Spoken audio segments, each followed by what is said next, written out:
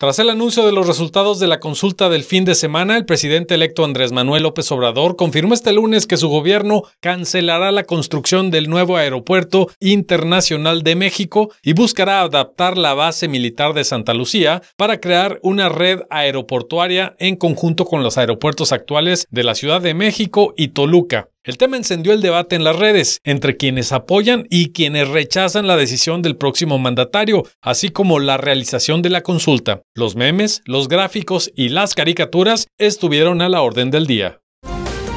Una cámara de seguridad captó el momento en que un helicóptero cayó afuera del estadio King Power del Leicester City la noche del pasado sábado, donde el equipo local había empatado a un gol contra el West Ham en partido de la Premier League. El club confirmó en redes y en su sitio web oficial que entre las víctimas mortales se encontraba su dueño y presidente Vichai Srivadanaprava, junto a otras cuatro personas. Las redes se llenaron de mensajes tanto de aficionados como familiares y jugadores. Aunque el piloto perdió el control de la aeronave, en las últimas horas se conoció que su maniobra evitó una tragedia mayor. Los alrededores del estadio se llenaron hoy de arreglos florales y tarjetas.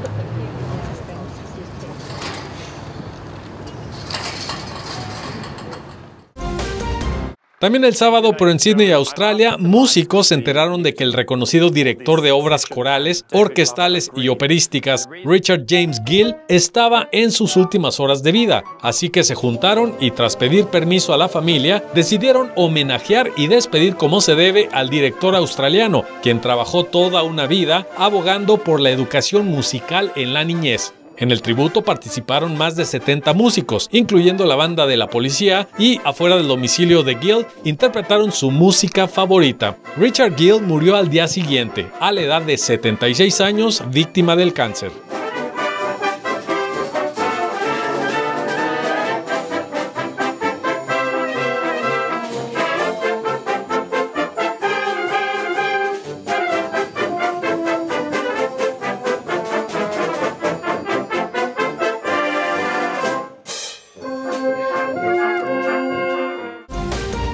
Ya que andamos en Australia, nos trasladamos hasta las calles de Melbourne, donde un músico callejero llama la atención de turistas y locales por igual, al transformarse en una orquesta de un solo músico, pero con múltiples instrumentos.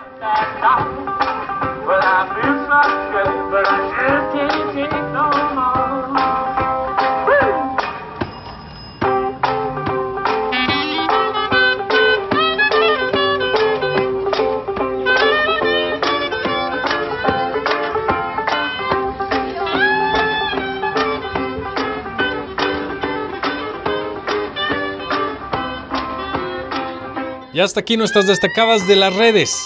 Para Mega Noticias, Franz Borja.